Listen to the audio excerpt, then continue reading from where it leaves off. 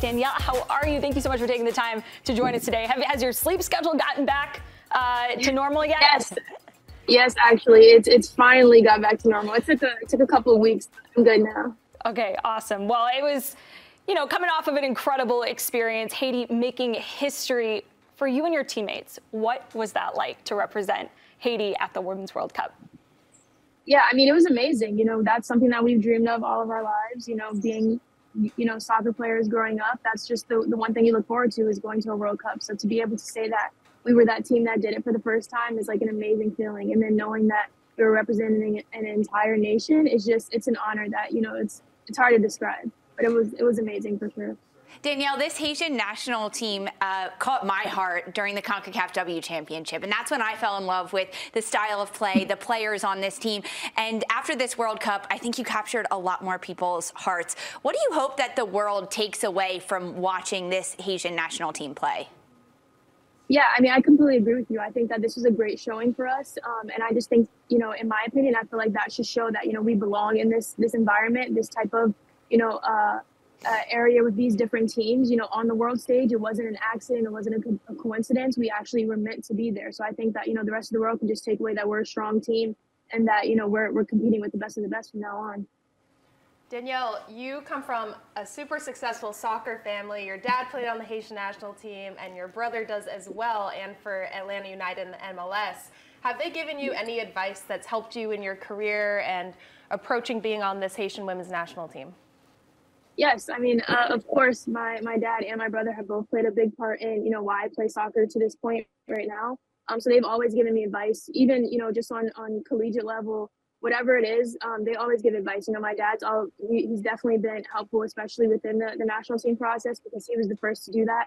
Um, so he you know he just always encouraged you know to make sure that I make myself um, known and, and and let them understand that you know I might not have been born in Haiti, but you know I just have the same love and I have the same passion for Haiti. So I think that that was a big piece of advice. And then kind of just growing into myself and getting more confidence in myself and how I play. That was big from from him, and then from my brother. He just always he always encourages me because sometimes you know there may be moments when I doubt myself or when I don't have as much confidence, and he always just encourages me that I, I was I was meant to be here and every every place that I've been at was because of the talent that I have. So yeah, they they both definitely helped me within this time, um, previously and up to this point right now. They they just always given me really good advice. Danielle, you've been wearing quite a few hats, not just inarguably one of your most impressive, which is World Cup player, but you're also a mom, yeah. uh, not to mention psych major. How have you managed to juggle it all? Because you're making the rest of us look bad. You're right. Sorry.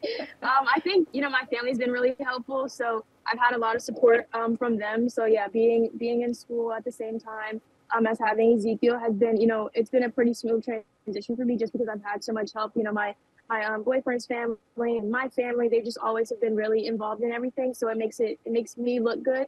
Um, but I think that you know just kind of finding that time to to you know that's pretty much a lot of college soccer for me was time management. So it was just another thing to to to work on and kind of include in my schedule was making sure that I had time for for my son. Um, and then also still, you know, putting in the work for academics and then putting the work on the field. So it for me, it kind of was second nature, just being able to get into different schedules and have different things going on. But yeah, my family has definitely definitely been been helpful with that. So what do you think, Danielle? Early scouting report. Does Ezekiel have the stuff? Is he showing early signs of Etienne genes? I want to know yes, so I can have you know like absolutely. He's, Perfect. He's, he's already he's, he's eight months old right now, and he's already trying to stand up. Um, he's he's he's he's crawling like nobody's business, but he's trying to stand up. He's been climbing on things lately. And yeah, my, my dad and my brother call it Project Mbappe. So there's, there's, there's a lot there's a lot for the future for All him. I hear sure. is potential Amazing. really strong, strong aerial ball skills and hold up play. yes. So we're good. We're good. I mean, you heard it here first. Project Mbappe happening right now. Etienne yes. family making it happen. I, I bet he's already got a bunch of cute little boots and everything. Uncle Derrick uh, all over that. But um, you know, in addition to all the help from your family, I can imagine that seeing so many other women at the professional level, especially in recent years, embrace motherhood, not just off the field and how they talk about it, but then going out on the field and playing at an incredibly high level. How inspired by you, or how inspired were you by so many of the, the mothers that we see across the world of football mm-hmm. uh, embracing that part of their life? Yeah, I mean, I think it's it's it's very inspirational to see see uh, different mothers in, in football. I think you know, for me, it gave me the confidence to know that my my career doesn't have to stop because I had a baby. Um, I think it only makes us fight harder because now we have so much more to even play for. You know, it's not just our country, it's not just you know our families, but it's the next generation. So I think for me that it, it was it was very good to you know be able to see other people who have done exactly what I have done. So I think that you know that kind of you know pushed me to know that I can get back just as much as anybody else could. Uh, but I think that it just goes to show too the, the the generation that we're in is just is completely different from you know what may have been thought about in the past. So I think that you know we're kind of taking new um, stepping stones and, and, creating a different future for you know future generations. That you know we we can be a mother and the baby's just going to run around on the field after you know we play. But I think that you know being competitor, um, knowing that I, I wasn't finished yet and that I had so much more for my career and seeing other women be able to do it, yeah, it was just it was it's a great feeling.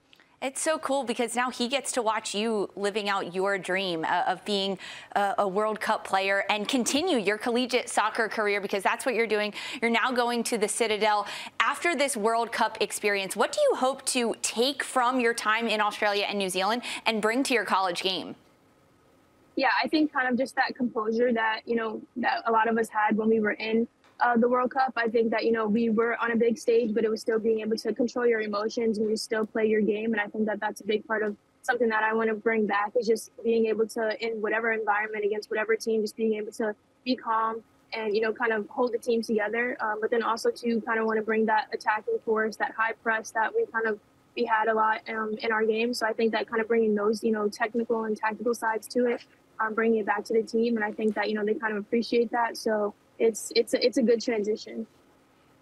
Danielle, that's a great transition, and we have to ask because this is the last year for you in your collegiate career. What are you wanting to do next? Hopefully, you know, we have high hopes that you'll come to the NWSL and we can see your game here a little bit more, but what what are you hoping to do and accomplish? Yeah, I mean that's that's definitely my goal. You know, World Cup was on the list, but also being a professional soccer player was on my list as well. So you know, I don't necessarily know if that'll be in the NWSL, if that'll be in France, that, wherever that may be. But I definitely do want to um, take my my my talents to the next level. So yeah, hopefully you will see me in the NWSL next year. Well, Danielle, thank you so much for taking the time to join us. Best to you and uh, little Ezekiel as well. When is it? Is it too soon to get? When, when can they? When can kids realistically start uh, playing? They gotta walk first. Yeah. I gotta walk first. He's climbing. What's it called? Little kickers? Is that what they play when they're? I'm gonna be. I'm gonna be honest. He he was kicking the ball around while he was in the crib. So it, it's. It, I, I, think that there's no there's no age limit for Preseason me. has commenced. Preseason has exactly. begun, and uh, it's starting in the crib. Uh, that is the case exactly. for Ezekiel. Well, hey Danielle, thank you again for taking the time to join us. Uh, best of luck this next season and uh, in your future as well. We'll be watching. Thank you so much. I appreciate you guys. Thank you.